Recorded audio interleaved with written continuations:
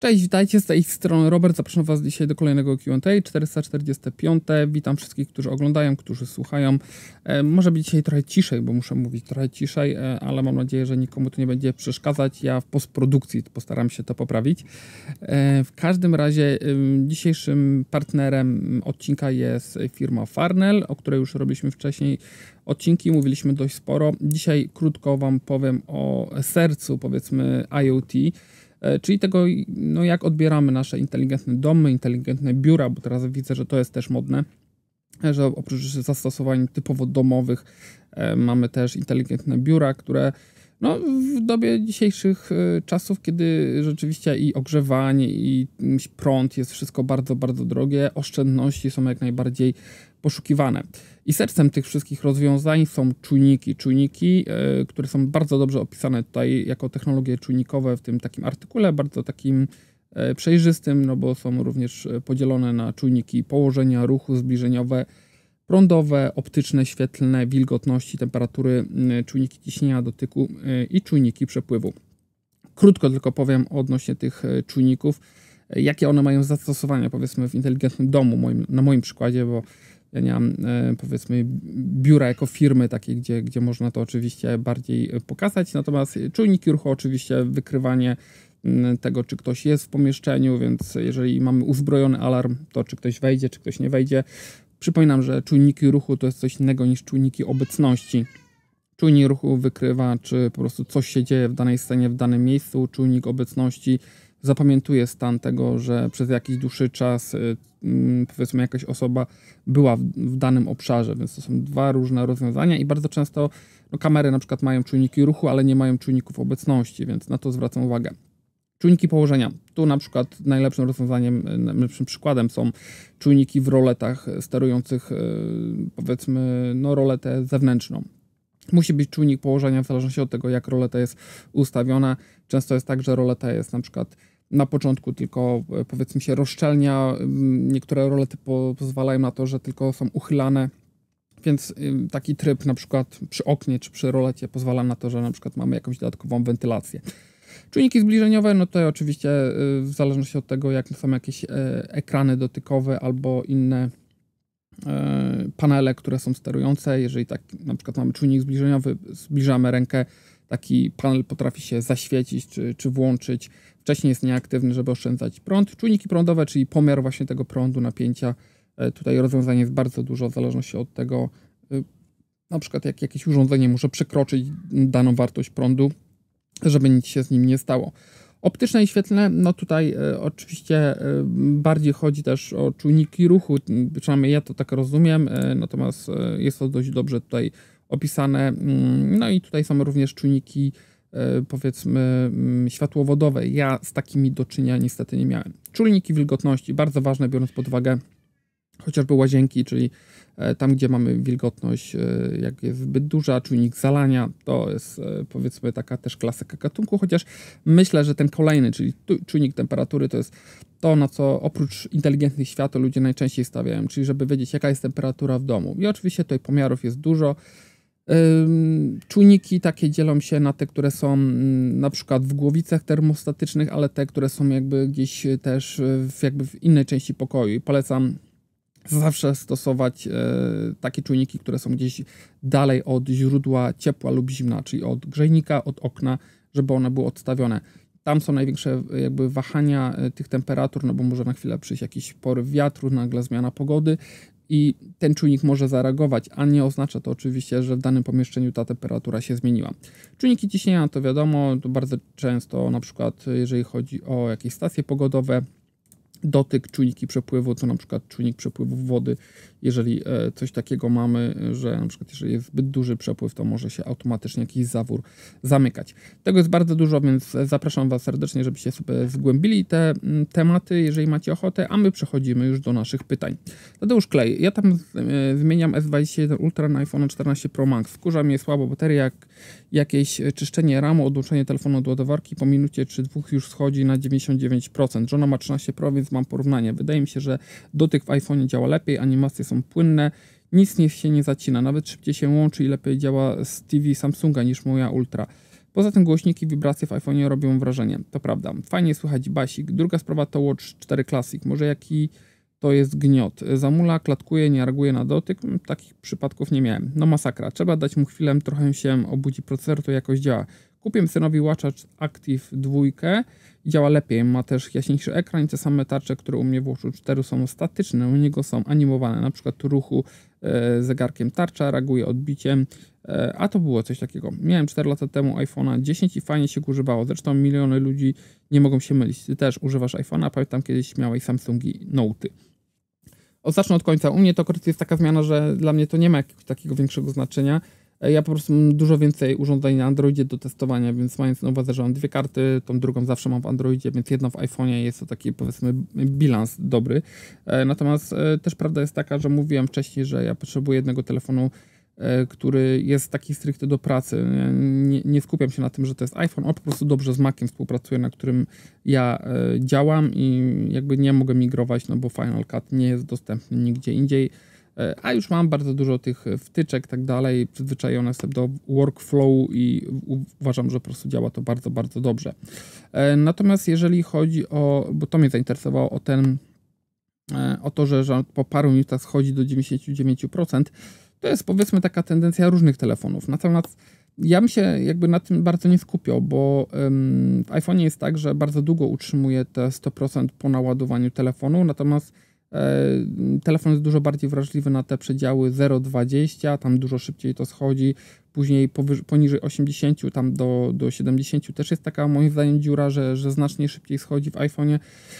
I, I to jak jest odzwierciedlone, to powiedzmy w procentach w telefonie nie musi oznaczać konkretnej wartości, jeżeli chodzi o baterię, bo to nie musi się zmieniać liniowo. To, co pokazuje nam powiedzmy no to tak jak macie, nie wiem, powiedzmy w samochodzie, macie wskaźniki, tak, to, to nie są mierniki, one nie pokazują, znaczy oczywiście są samochody, które mają na przykład dokładną ilość e, pojemności w litrach, powiedzmy w baku pokazaną, ale te klasyczne wskazówki to są mierniki, to są wskaźniki, one wskazują, nie mierzą, więc e, to nie zawsze musi tak być odzwierciedleniem tego, co faktycznie jest w pojemności ogniwa, ale bardzo fajne przemyślenia, no daj znać. A faktycznie nie pamiętam, żeby w, w czwórce były te um, takie błyszczące, bo to chyba w trójce było zaprezentowane, mi się wydaje, właśnie e, te odblaskowe, takie niby koperty, że jest ten taki niby błysk, powiedzmy, na tarczy.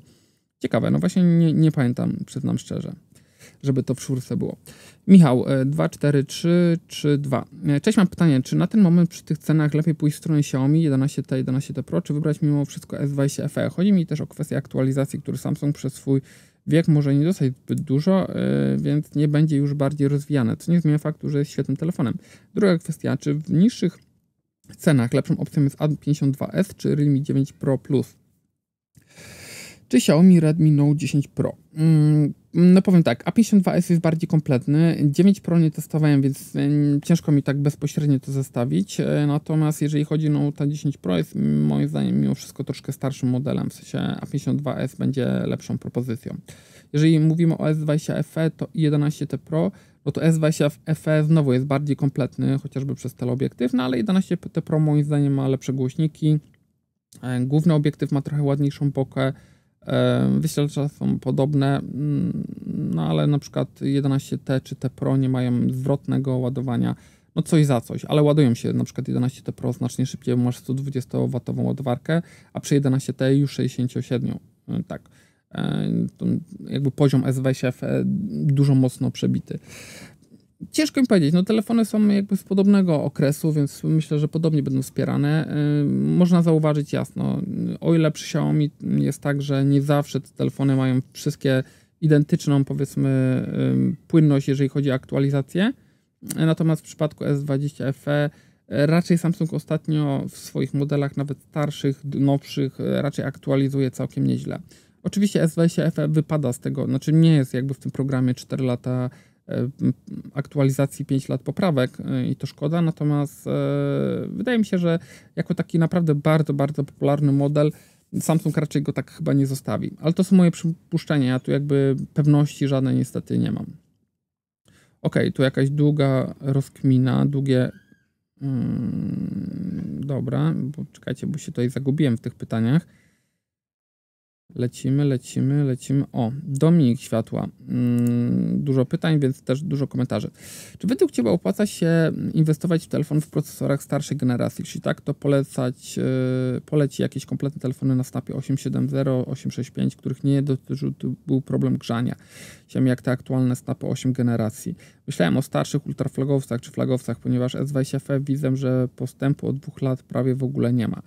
E, to znaczy tak, no ciężko mi teraz tak z głowy powiedzieć o wszystkich modelach, no bo wiecie, tego się przewija bardzo dużo i lepiej po prostu sobie wejść i poszukać e, w specyfikacjach, na przykład na GSM RMA bardzo szybko można do tego dojść.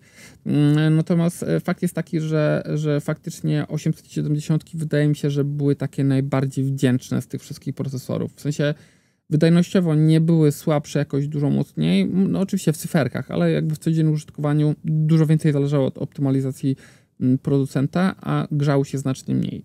Ja jestem wielkim orędownikiem e, mediateków, w sensie te nowe mediateki Dimensity, e, czy 1200, czy 900, one rzeczywiście, y, powiedzmy, no może w cyferkach też gdzieś tam odstawały, natomiast w takim codziennym użytkowaniu radziły sobie bardzo dobrze. Nie notowałem jakichś ogromnych spadków płynności, a w wydzielaniu temperatury było znacznie, znacznie lepiej niż przy adekwatnych Snapdragonach czy tym bardziej Exynosach. Więc wydaje mi się, że, że jest to sensowne rozwiązanie. Mm, znaczy, powiem tak, Kupowanie teraz rocznego czy dwuletniego flagowca ma o tyle sens, że to są telefony, które już zdążyły stanieć i raczej producenci, nawet jeżeli nakładają marżę na nowe telefony, które są po prostu droższe, no bo po prostu elektronika drożeje, to na te starsze nie nakładają, no bo to głupio wygląda, że nie wiem, że jakiś telefon X kosztował kiedyś 2000 i cena spadła do 1600, żeby go teraz sprzedawać, nie wiem, z powrotem za 1800 czy za 2000. E, więc wydaje mi się, że to, to jest tego plus. Natomiast no, problem jest taki, że one nie będą na pewno tak długo aktualizowane. E, ale też nie bez powodu tak dużo osób bierze te S20 FE czy Xiaomi 11T jako takie naprawdę bardzo dobre telefony, bo one nadal świetnie sobie radzą i nie dla wszystkich powiedzmy aktualizacje są aż tak istotne i myślę, że w dobie tego, że no, telefony rzeczywiście zaczynają drożeć, tak, no bo ja, ja w tym roku nie pamiętam, żeby były jakieś takie super, super ym, modele, które by na przykład oferowały znacznie więcej niż rok temu y, adekwatne modele, że, że, że specyfikacja lepsza, że nie wiem, przy więcej obiektywów czy coś. Coś takiego nie następuje. Był ten postęp przez wiele lat, że rzeczywiście te modele były coraz lepsze, ale teraz raczej już jest y, takie trochę bym powiedział wyhamowanie. Więc y, te poprzednie modele nie są złą opcją, ale trzeba pamiętać o tym, że aktualizacje niestety mogą już tak tam często nie przychodzić. E, dałby radę, e, abyś zrobił ranking opłacalności telefonów, w tym zeszłoroczne, dłuletnie telefony, ponieważ jak już znajduję rankingi, to zwykle opieram się o tegoroczne konstrukcje, a nawet pomimo inflacji ceny zeszłorocznych flagowców spadły. E, moim zdaniem ciągle lepiej kupić zeszłorocznego flagowca niż średniaka tegorocznego. No wiesz co, no teraz niedawno było zestawienie 1800-2200 i było tam bardzo dużo telefonów starszych i to też tłumaczyłem, że no, no, właśnie jakby no cena tamtych modeli jest na tyle atrakcyjna, one nie są o tyle gorsze, albo po prostu nie pojawiło się nic lepszego, że nie warto pchać się no, za, jakby za każdą cenę e, tylko w nowsze rozwiązania, bo po prostu są nowsze. E, więc myślę, że warto sobie zerknąć do tego zestawienia, ale takie zestawienie w okolicach 3000, bo wiem, że dużo osób o to pytało, też zrobimy i myślę, że może nawet w przyszłym tygodniu. E, czy mógłbym polecić jakiegoś kompletnego flagowca w cenie do 4000 zł? Do 4000 zł, znaczy no, pytanie, co, co masz na myśli y, kompletnego, tak? No bo tak jak sam pisałeś, można oczywiście pójść w jakieś nowe rozwiązania, czyli nie wiem, i Xiaomi 12 mm, rodzinę, czy tam, no, no może 12 Pro trochę zabraknie, ale e, S22 to są kompletne telefony, które mają właściwie wszystko na pokładzie. Natomiast czy to jest jakiś przeskok ogromny względem S21 czy Xiaomi 11? No ja bym nie powiedział. W sensie, ok, no są jakieś tam mniejsze, większe zmiany, natomiast tamte poprzednie telefony są jednak sporo tańsze, a działają mniej więcej podobnie. Ten progres nie był jakiś ogromny. Oczywiście, no różnica, nie wiem, w aparacie, w jakichś trybach, oprogramowaniu, często są sztucznie ograniczone te stare modele, bo pewno mogłyby dostać te same aktualizacje, natomiast no producentom nie jest to na rękę i musimy mieć tego świadomość. E, ale myślę, że jakby ten, mm, jakby ta różnica między telefonami za 2000 z kawałkiem a 4000 nie jest tak duża jak między 4 a 6. W sensie E, jeżeli ktoś oscyluje między 4 a 6, to pewno bym dołożył gdzieś tam do jakiegoś ultraflagowca, żeby mieć święty spokój. Chociaż znacie moją praktykę, że ja wolałbym jednak w tej cenie już składany model. Natomiast między tam 2,5, 3 a 4 to ja bym się zastanowił mocno, czy bym dokładał. Tak? No w sensie te różnice nie są jakieś takie kolosalne i chociażby nie wiem, S21 FE nadal jest świetnym modelem, który mm, też y, będzie się spisywał, ale S21 już potrafi być trochę tańszy i jest nadal bardziej, znaczy bardziej kompletny, równie bardzo kompletny. O. Inflacja nie odpuszcza, więc padła decyzja na kupno telefonu, aby bez sensu pieniędzy nie tracić. Natomiast ceny, same ceny elektroniki zamiast spadać są na tym samym poziomie lub też rosną. Osobiście współczuję sobie i innym, którzy teraz stoją w sytuacji z zakupem elektroniki. Ale to nie jest tylko elektronika, no znaczy w sensie wszystko drożeje i samochody, nie wiem, czy śledzicie rynek, ale to, co się dzieje, to po prostu producenci systematyczni co parę tygodni po prostu piszą notatki, że zmienia się od któregoś dnia tam cennik i po prostu dokładają, nie wiem, po 15, po 20 tysięcy do tego samego samochodu. I oczywiście no, popyt jest tak duży na samochody, mm, że, że, że zmieniają te ceny i ludzie nadal kupują. E, w przypadku smartfonów myślę, że nie jest to jeszcze tak odczuwalne, ale tak jak mówiłem w jednych z poprzednich tech newsów, wystarczy, że 1 albo 2% i to podejrzewam, że to będzie Samsung i Apple podniosą ceny po prostu y, nowych telefonów mm, i nawet tych obecnie, tak jak miało miejsce to w Japonii, e, to e, po prostu inni producenci pójdą tym samym tropem. W sensie nie będą mieli skrupułów, żeby podnieść tą cenę, no bo skoro inni mogą i, ludzi, i te telefony będą się sprzedawać, to dlaczego my nie możemy?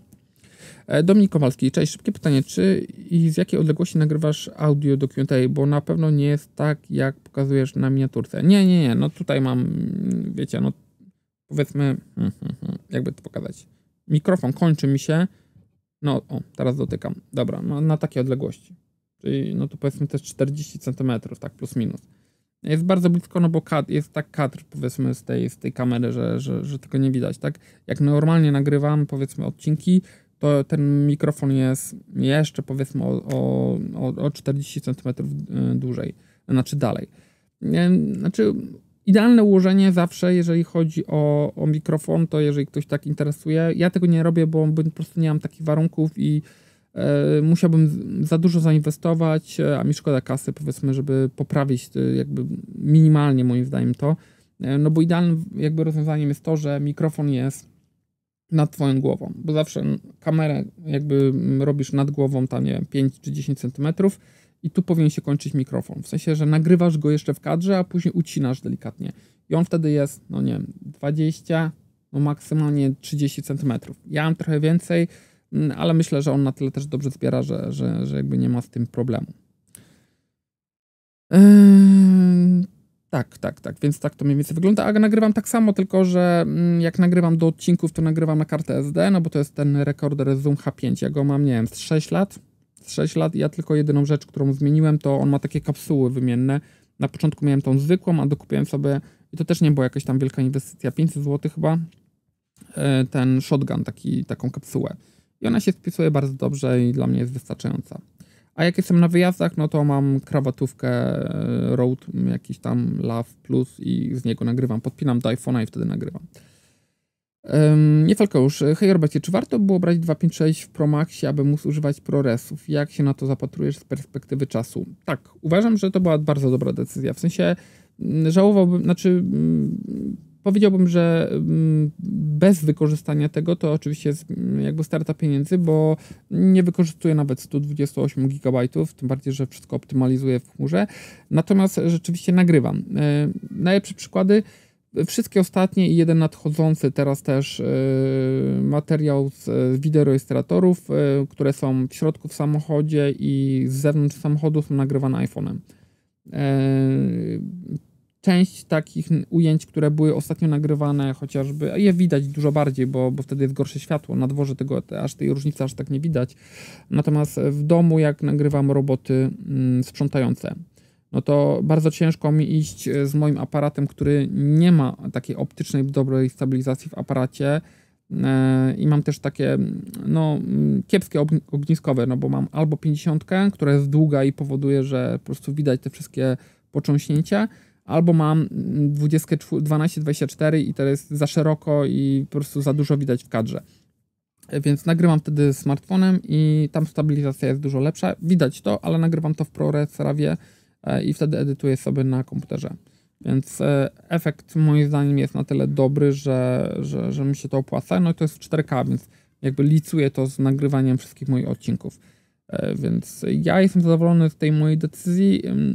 No mam nadzieję, że w przyszłym roku nie będzie takiego, takiego limitu, tak? No bo, bo to by było bez sensu troszkę. W sensie, no e, szkoda mi będzie płacić więcej, tym bardziej, że ogólnie iPhony będą po prostu pewno droższe.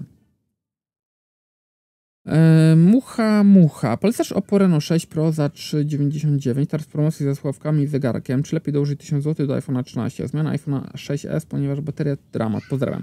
Znaczy, jakby trzeba sobie y, odpowiedzieć na dwa pytania. Po pierwsze, ja Reno 6 Pro nie miałem. W sensie testowałem 6, 6 Pro nie miałem, więc ciężko mi powiedzieć. Na pewno wizualnie szóstka mi się bardziej podobała niż 6 Pro, chociaż tak jak mówię, 6, 6 Pro nie miałem. E, druga sprawa jest taka, że jednak mówimy trochę o innej półce telefonów. W sensie 6 e, Pro e, na pewno nie będzie robił aż tak fantastycznych fot, nie będzie miał takiej specyfikacji, nie będzie miał tyle jakby kompletności urządzenia. No i pewno dla Ciebie będzie troszkę bardziej znajomy niż 6S.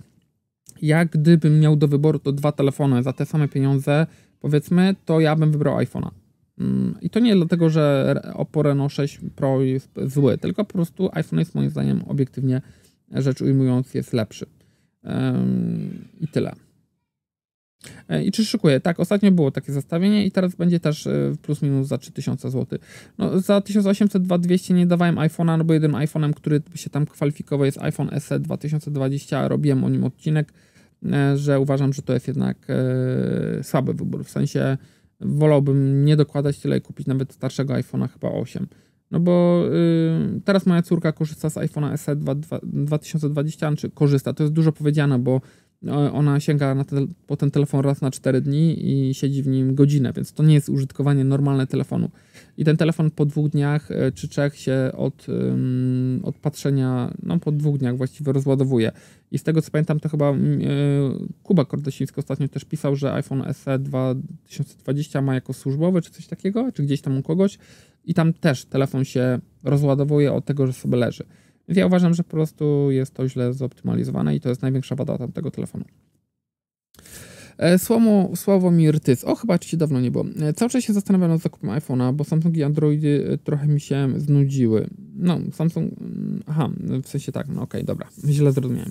Jestem ciekaw, czy różnica między iPhone'em 14 Pro Max i 13 Pro Max będzie faktycznie aż tak duża. Nie bardzo chce mi się tak się czekać dwa miesiące do premiery iPhone'a 14 Pro Maxa, a z dostępnością 13 jest coraz gorzej. I co tu robić? Znaczy powiem tak, jeżeli twój, znaczy ja ci mówię oczywiście moje zdanie, co ja bym zrobił na twoim miejscu. Jeżeli twój telefon jest jeszcze w takim stanie, że możesz go używać, albo masz jakiś inny zapasowy, to ja bym jednak poczekał. No w sensie, e, jeżeli weźmiesz teraz 13 Pro Maxa, ok, on pewno będzie gdzieś tam, może udać się go dorwać, nie wiem, z 300 wytaniej, chyba, że będziesz kupował bezpośrednio Apple, to cena jest niezmienna przez rok. 14 Pro Max pewno będzie droższy.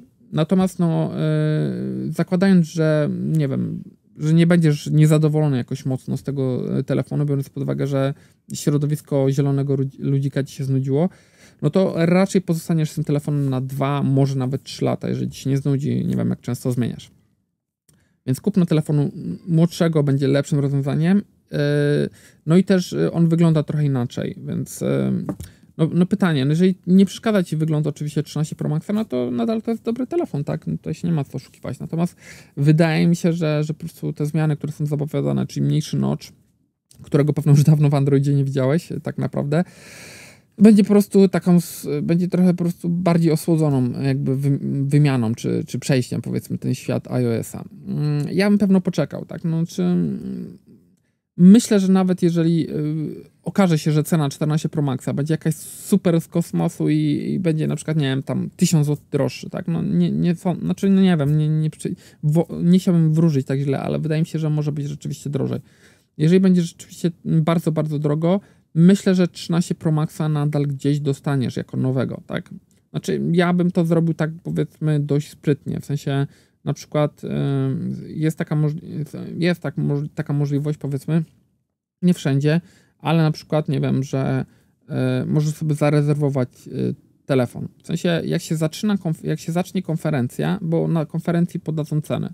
e, Apple'owej. Jak się zacznie konferencja, wchodzisz sobie na stronę tam, nie wiem, dowolnego sklepu, który tam chcesz i y, czasami jest taka możliwość, że na przykład, y, że możesz zarezerwować w sklepie, żeby zrobić odbiór. No i, i z takiego czegoś możesz zawsze zrezygnować, bo to nie jest obligatoryjne, no chyba, że gdzieś tam będzie to napisane. E, jeżeli faktycznie cena będzie zbyt wysoka, no to mm, bierzesz sobie, realizujesz tą rezerwację. Natomiast jeżeli się okaże, że różnica nie jest duża, a, a zmian będzie na tyle dużo, że, że warto czekać, jeszcze poczekać ten tydzień, no bo zawsze jest ten tydzień powiedzmy po konferencji, zanim tam startuje sprzedaż i jeszcze po tygodniu, czyli w sumie dwa tygodnie, no to pewno ja bym um, zaczekał. Czy no w sensie to, to nie jest jakby te, tylko w przypadku iPhone'a. To, to, tak samo jakby ktoś mnie zapytał o Samsunga, o nie wiem, o Xiaomi, o Huawei, o cokolwiek innego. Jeżeli wychodzi za dwa miesiące nowy model, ja bym czekał. No w sensie, nawet jeżeli te usprawnienia nie będą takie, fajne, takie fajne i duże, to zawsze można powiedzmy wziąć e, ten starszy model, jeżeli się jeszcze uda. Myślę, że to jest takie dość oczywiste. E, Macie Dąbrowski, hej, pytanie szybkie. Nothing Phone 1 czy Xiaomi 12 Lite? E, jednego i drugiego nie miałem, więc to jest problematyczne. Znaczy, no, mm, no chciał, że szybkie pytanie, a może szykuje się test jednego i drugiego. Znaczy, no problem jest taki, że Xiaomi 12, e, aha, mówisz o 12 Lite, mm, to tego nie miałem w ogóle, a nie wiem, czy nie mówisz o SC? E, bo ESEC w ogóle nie ma być w Europie, z tego co wiem, to jest przykra wiadomość. E, Nothing Phone jeszcze nie mam, napisałem do PR-u, jest kolejka, muszę czekać, niestety. E, więc no zobaczymy. W każdym razie powiem tak, nie jestem w stanie zdecydować. Mm, jeżeli się nie potwierdzą te, te babole, które wychodzą gdzieś tam przy Nothing Phone 1, te problemy jakieś, to to pewno ciekawszym byłby y, ten Nothing Phone. W sensie to jest coś innego, coś ciekawszego. Myślę, że to jest po prostu oryginalne urządzenie pod tym względem.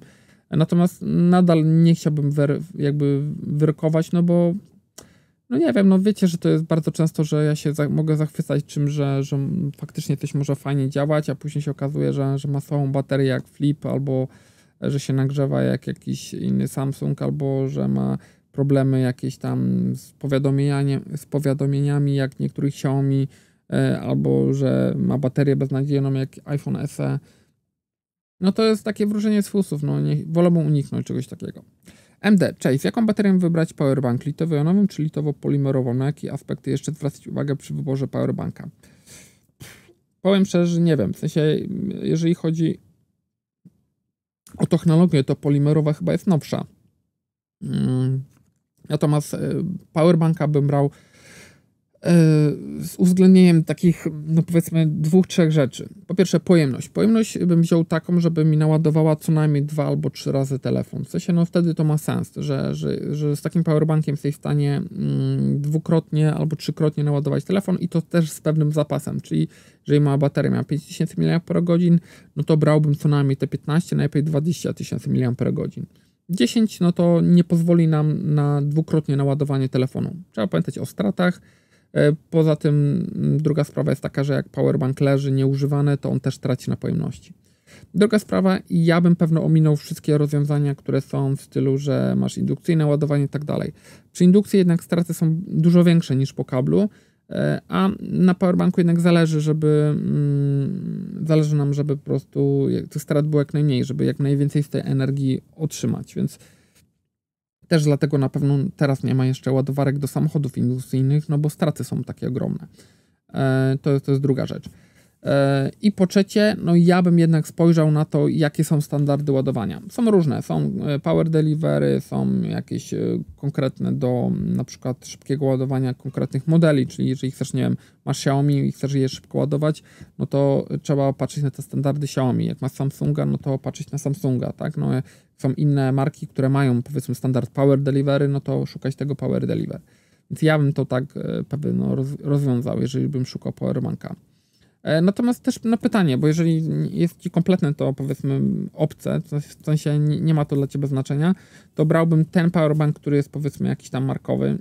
No, markowy pod względem, że, że firma, która się tym zajmuje, albo jest to, nie wiem, jakiś tam power, power, powerbank Xiaomi, Samsunga, mm, czy jakichś innych firm, które się jakby tym zajmują. I, i po prostu brałbym coś takiego, co, co jest powiedzmy sprawdzone, co ma dobre opinie i tyle jeżeli ci nie zależy na czasie ładowania i tak dalej. Uwzględniłbym tylko ten, e, ten fakt, że, że po prostu no to dwa, dwa do trzech razy mi to naładowało, no bo wtedy to ma sens. W jakim momencie najlepiej zacząć ładować baterię w smartfonie? Przy około ilu procentach? Znaczy, jakby sztywno oczywiście nie ma. No, jakby jest film, który tutaj mogę wam podpiąć odnośnie ładowania baterii, który uważam, że jest nadal aktualny. Natomiast yy, no, prawda jest też taka, że, że baterie najbardziej lubią ten przedział 20-80. I to niezależnie, czy to jest smartfon, czy samochód elektryczny, no to jakby mm, jest taka mm, powiedzmy prawidłowość, że nie lubimy tych skrajnych wartości ani rozładowania, ani ładowania. Więc dlatego bardzo często ładujemy do 80% samochody elektryczne, gdzie to są baterie, staramy się dbać bardziej niż w przypadku smartfonów, no bo jest po prostu dużo droższa, tak? No w smartfonie nawet jak masz za 6000, no to bateria cię wymiana będzie kosztowała, nie wiem, tam 500 zł czy 600. No, to, to, to powiedzmy w skrajnych warunkach, tak? Tyle. Na ogół y, są te baterie oryginalne tańsze. Natomiast w samochodzie elektrycznym oczywiście one są inaczej zbudowane i są bardziej wytrzymałe, natomiast tam wymiana kosztuje kilkadziesiąt tysięcy. Więc yy, ten przedział 20-80 jest taki najlepszy. Ja bym pewno starał się nie schodzić poniżej tych 15%. Tak? Znaczy, jak zejdziesz, nic się nie stanie. E, mi się też zdarza tak, że nawet testówki mam, które e, na przykład rozładują się tam po, po kilku dniach i ja akurat mam coś innego albo zapomniałem jej zabrać i ona sobie tak leży. Trudno. Natomiast jeżeli rzeczywiście tak myślimy, to starałbym się w ten sposób ładować.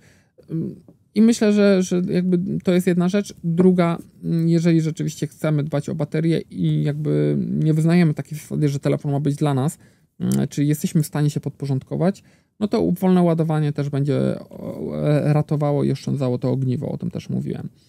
Asus kiedyś dawał właśnie fajne takie przykłady, że na przykład 500 e, cykli ładowania, to było, to było chyba, nie wiem, dwa albo trzy lata temu, 500 cykli ładowania E, wolnego i szybkiego e, potrafi jakby wydłużyć ogniwo o 20% nawet, więc e, jest to taki benefit, na który wa warto zwracać uwagę.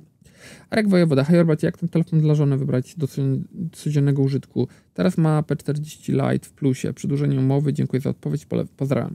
Znaczy wiesz, to ciężko powiedzieć w jakim przedziale cenowym, tak, no bo oczywiście wiesz, y, jeżeli y, szukasz czegoś też taniego, to pewno bym szukał, znaczy nie wiem, jeżeli lubi nadal Huawei, to na pewno są tam telefony w ofercie, tylko jednak, y, no P40 Lite chyba też już był bez GMS-u, nie, więc, e, więc tutaj nie powinno być problemu.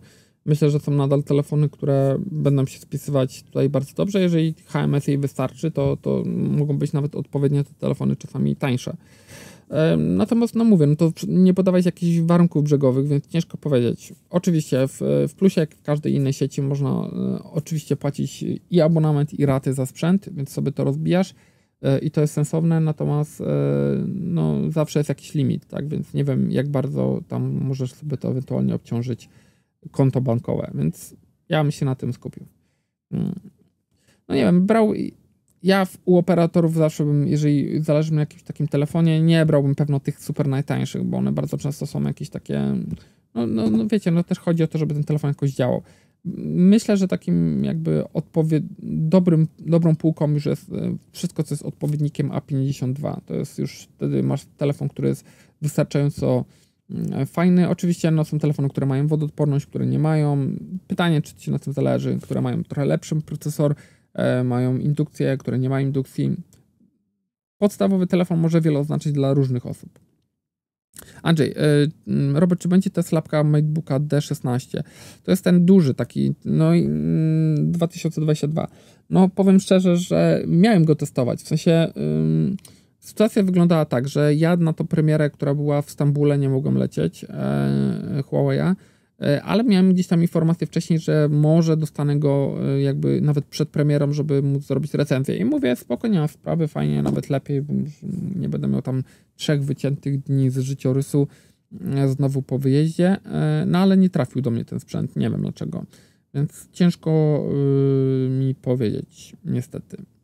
No widziałem po opiniach, że jest fajny, że, że ma duży ekran i tak dalej, ale to no mówię, no jakby ja tutaj swoją głową ręczyć nie mogę. E, Adrian Niziołek, czy będę recenzował sławki Rock Centra True Wireless, te najnowsze pewno. E, wiesz co, jeszcze nie wiem, ale, ale na pewno będę pytał Asusa, czy, czy taka jest możliwość. Mateusz Ryś, cześć. Kilka tygodni temu pytałem o Twoją propozycję telefonu 22500. Miałem to, miała to być przysiadka z G6. 5 lat go miałem. Kupiłem Realme GT Neo 2 828 w cenie 1650. No widzisz, jak ładnie. Znaczy widzisz, to, to jest świetny, gratulacje i to jest świetny przykład na to, że możesz mieć nie wiadomo jaki budżet. Sensie oczekiwania, oczywiście budżet. Bardzo często jest tak, że na przykład nie mamy jakichś ogromnych oczekiwań, może jakieś jeden, dwa punkty, w sensie, nie wiem, telefon ma być, nie wiem, bezramkowy w miarę, z dobrym ekranem i dobrą specyfikacją i jakiś tam budżet, ale okazuje się, że można na przykład zrezygnować z czegoś, no bo GT Neo też e, jest telefonem, który nie jest taki super, super kompletny, mm, ale może mieć jakieś tam parametry, które są dla Ciebie wystarczające i, i można go kupić znacznie taniej, no bo jakby widełki, które miałeś, a cena, za którą go kupiłeś, no jest powiedzmy no zupełnie jakby w innym miejscu, prawda? No i to, to jest też fajne rozwiązanie, że nie trzeba po prostu zawsze się pakować w nie wiadomo jak bardzo w najlepsze rozwiązania. Wawrzyniec Pruski. Robert, piszę jeszcze raz, ponieważ mój komentarz został wywalony pewnie przez YouTube, mimo że nie było w nim nic złego. Ja nic nie usuwałem. Zresztą chyba w ostatnim albo poprzednim odcinku mówiłem, że, że dziękuję bardzo, bo właściwie nic nie było w spamie. Dzisiaj coś było, ale przywróciłem, bo to nie było nic, e, to były jakieś tam odpowiedzi do którychś komentarzy. E, odnośnie mojego ostatniego wpisu, w porównaniu ekosystemów Apple e, versus Samsung, chodziło mi o bezpośrednie pokazanie różnic w filmie. Jeśli chodzi o działanie każdego z osobna, to widziałem wszystko, zarówno twoje filmy, jak i innych chłopaków. Chodzi o to, że nie ma takiego materiału, żeby po oglądnięciu potencjalny klient zdecydował się na jeden lub drugi. Pozdrawiam.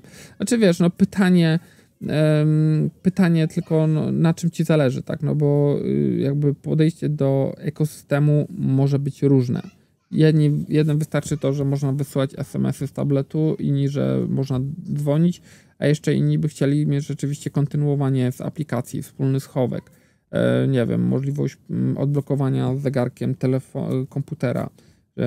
No, jest y, tego bardzo dużo, więc myślę, że oglądnięcie obydwu filmów, mm, czy tam nawet więcej filmów u różnych twórców, da jakiś taki ogląd. No, masz w głowie co dla ciebie jest ważne w ekosystemie, tak? Znaczy ja bym tak do tego podchodził. Znaczy, e, no nie wiem, jakby to ująć. Ja na przykład, jakby mi zależało, żeby kupić, teoretyczna jakby sytuacja. Zależy mi na tym, żeby kupić samochód, tam elektryczny na przykład i, i chciałbym, żeby, okej, okay, tam parametry jak parametry, ale chciałbym, żebym mógł, mógł jak najwięcej zrobić, powiedzmy, za pomocą aplikacji na telefonie z tym samochodem, no to oglądam sobie wszystkie recenzje samochodów i patrzę, albo wszystkich recenzje aplikacji wszystkich e, tych producentów i patrzę, co one oferują. Nie muszę mieć zestawienia, żeby wydedukować z tego, co, co jest dla mnie ważne. I na przykład, nie wiem, e, załóżmy, Skoda ma, Skoda, Tesla mają możliwość elektrycznym ustawienia konkretnej temperatury, w BMW chyba nie ma. No jeżeli to jest dla mnie ważne, żeby móc zmieniać tą temperaturę, to już wiem, że na przykład takie BMW odpada. Więc pytanie. Pytanie, co jest dla Was ważne. Kamil. Cześć Robert, pytałem się niedawno Ciebie o Asusa z iPhone 8, iPhone 12, S21 lub inny nieduży telefon. Szukam telefonu na dłużej, obecnie mam ponad 3 lata i zaczynam się psuć. Jakoś do częstych zmian nie mam chęci. Najbardziej polecałeś S22 lub iPhone'a, z tym, że Asus też był ok. Po analizie iOS jednak wolę zostać przy Androidzie i teraz moje pytanie brzmi, porównawczy S22 z telefonu od producenta na A o nazwie Z, który niebawem pojawi się na rynku, oczywiście po premierze. Musicie poczekać po premierze. Nie mogę aż tak, bo wiadomo o co chodzi, to tak nie mogę wprost, bo to już, to już by było rzeczywiście mm, takie niesmaczne. Znaczy, niesmaczne, to po prostu byłoby nie fair względem na to, na co się umawiałem, więc musicie jeszcze trochę poczekać. Jeżeli to jest tak ważne, to, to ten, mogę powiedzieć, że warto czekać. Warto czekać i, i tyle. E, Daniel Michalak, cześć Robercie, chcę zmienić region, w końcu zaktualizować system UI. E, nie powinno być, 13, e, nie powinno być problemu z działaniem język polski, płatności TP. Dzięki za odpowiedź. Pamiętaj, żeby się nawadniać, bo strasznie gorąco. To prawda. Znaczy, z tego co wiem, to wystarczy zmienić region, zaktualizować, później wrócić do swojego i nie powinno być problemów.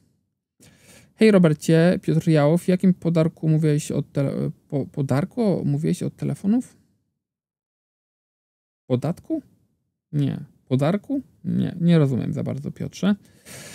To do mnie 28. Cześć. E, wczoraj postanowiłem pójść na coś i na hiszpańskim Amazonie zamówiłem przy sprzedaży 6A Pixela w komplecie z gratisowymi sławkami e, Pixel Buds A Series. Po przeliczeniu na palenta przyjemność kosztowała 2250. Czy twoim zdaniem to był dobry wybór w tej cenie?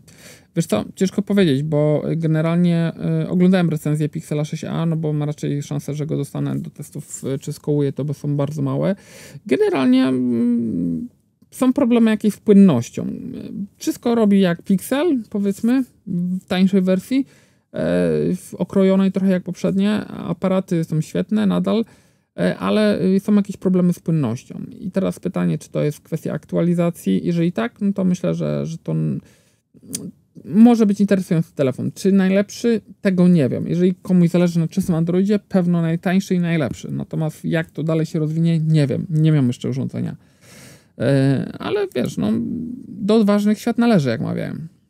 Mateusz Duc. Cześć Robert. Ja ostatnio pytałem o optymalizator scenerii w Samsungach i możliwe, iż pytanie było zadane zbyt skrótowo, gdyż ty je odebrałeś jako temat automatyzacji zadań na galaktykach.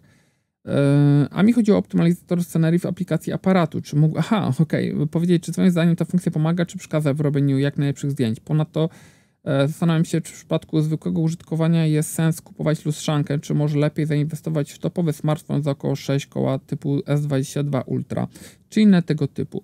Wiesz co, no, optymalizator scenerii trochę działa jak AI, czyli niektóre zdjęcia może podkręcić bardziej i one kolorystycznie będą wyglądały lepiej, natomiast niektóre zdjęcia może zepsuć.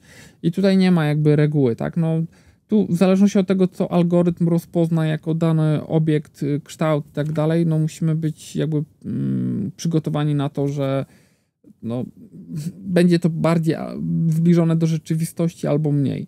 Przypominam tylko, że y, w postprodukcji zawsze możesz sobie to zdjęcie jakby zrobić tak, jak chcesz. Tak? To, że ono nie wygląda na dzień dobry, tak, to nie oznacza, że nie można tego zmienić. Gorzej, że nie zawsze możesz e, wrócić do, do tych ustawień, czy jak zrobisz zdjęcie jakiegoś kwiatka, który jest czerwony, fioletowy, czy jakiś inny i te kolory są powiedzmy takie newralgiczne, że te algorytmy je podbijają, to e, czasami tracisz tam detale i tego nie jesteś w stanie później przewrócić. Jak myślisz, czy 12S Ultra pojawi się w Europie e, oraz czy matryca, którą w nim zainstalowano, faktycznie będzie robić robotę pod względem jakości i jaką Realme może uzyskać. Wiesz co, nie wiem, ciężko powiedzieć.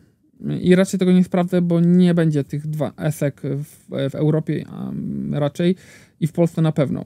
Więc to zostaje tylko jakiś chiński sklep, a pewno tego zamawiać dla jakiejś garstki e, ludzi nie będę, więc e, Musimy poczekać na jakieś inne y, telefony, które będą miały taką matrycę, żeby to ocenić.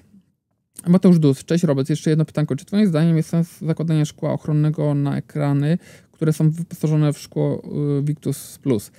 Myślę, że na każde, znaczy no ja na iPhone'ie też mam porysowane, więc zawsze może dojść do scenariusza, gdzie porysujemy ekran. To niezależnie od tego, czy to jest szkło najwyższej, czy naj, najmniejszej y, jakby odporności. I z drugiej strony też powiem tak, że im późniejsze generacje Gorilli, e, tym one są e, bardziej miękkie. W sensie one są bardziej odporne na upadki, e, na naprężenia, ale nie na rysy. Więc na przykład Gorilla Glass trzeciej generacji jest bardziej odporna na rysy, ale mniej na upadki niż na przykład Gorilla Glass piątej generacji. Tak to działa. E, Plondolio. E, hej Robercie, czytałem parę dni temu odpowiedź w sprawie Google Pay na Samsungu S8. Dzisiaj edytowałem przepraszam, e, komentarz i chyba YouTube usunął, nie wiem czy wrzucił do sprawdzenia, więc napiszę jeszcze raz. Próbowałem aktualizować sklep Play, ale wszystko jest aktualne. Znalazłem na necie poradnik, jak dodać certyfikat, ale i ta próba nie powiodła się. Nie mam już pomysłu. S8 ładuje dwa razy dziennie. Chyba faktycznie czas wymienić, tylko powiem się, że nie doczekam akceptowalnej promocji przez e, zawirowania, jakie nas otaczają. Chciałem też zapytać o apkę Watcha 4 do sterowania Android TV w moim Shield TV, bo pilot mi padł i używałem telefonu do obsługi. Czy znasz? A taką apkę Nvidia nie zrobiła niestety oficjalnej apki na Wear OS. Dziękuję. Z e, Nvidia Shield miałem do czynienia tyle, co chyba kiedyś testowałem i musiałem oddać, więc nie mam kompletnie mm, jakby pojęcia, jak produkt jest rozwijany, niestety. E, to raz. Po drugie, jeżeli chodzi o, o to Google, o aktualizację sklepu Play, Ciężko mi powiedzieć. No nie wiem, co za bardzo zrobić.